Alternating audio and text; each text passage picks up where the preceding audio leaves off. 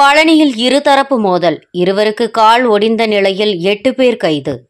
திண்டுக்கல் மாவட்டம் காவல் கண்காணிப்பாளர் பிரதீப் உத்தரவின் பேரில் பழனி காவல் துணை கண்காணிப்பாளர்கள் தனஞ்செயன் பழனி காவல் ஆய்வாளர் மணிமாறன் சார்பு ஆய்வாளர் விஜய் தங்கராஜ் மூர்த்தி காவலர்கள் தீபாவளி முன்னிட்டு சட்ட ஒழுங்கு சீர்குலைக்கும் விதமாக யாரும் நடந்து கொள்ளாத விதமாக தீவிர கண்காணிப்பு ரோந்து பணியில் ஈடுபட்டு கொண்டிருந்த பொழுது பழனி தெற்கு அண்ணா நகரை சேர்ந்த ஸ்ரீதர் என்பவர் தலைப்பாக்கட்டு ஹோட்டல் அருகே உள்ள சந்தில் தனது இருசக்கர வாகனத்தில் சென்றுள்ளார்.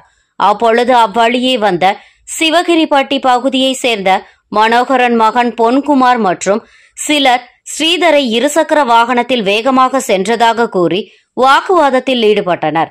தொடர்ந்து ஸ்ரீதரை தாக்கியதாகவும் தெரிகிறது. இதுகுறித்து ஸ்ரீதர் பழனி நகர் காவல்துறையில் புகார் அளித்தார். இந்நிலையில் ஸ்ரீதர் மற்றும் அவரது நண்பர்களான தினேஷ் தனுஷ் சரவணன் ஆகிய நான்கு பேரும் இணைந்து ஆர்விஎஸ் மகால் அருகே சென்ற பொன்குமாரை தாக்க முயன்றுள்ளனர்.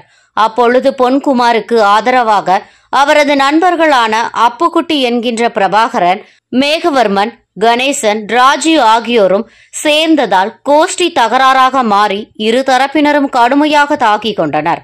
அப்பொழுது அவ்வழியே ரோந்து பணியில் ஈடுபட்ட போலீசார் தகராறில் ஈடுபட்ட அனைவரையும் கைது செய்தனர்.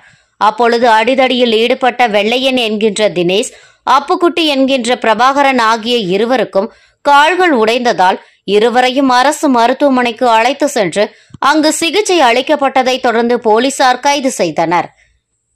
பழனியிலிருந்து நமது செய்தியாளர் செந்தில்குமார்.